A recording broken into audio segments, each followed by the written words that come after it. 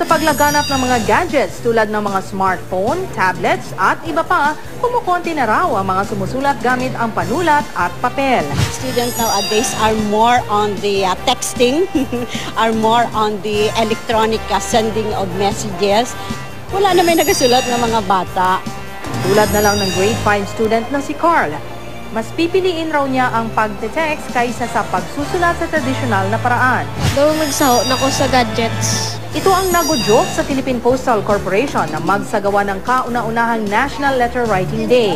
Bukod sa pagtuturo sa kabataan, layon rin ng selebrasyon na pahalagahan muli ang tradisyonal na pagsusulat.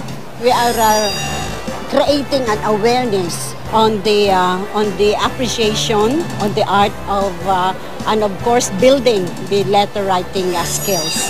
Bahagi ang selebrasyong ito sa Pilipinas ng pagdiriwang ng World Post Day noong October 9.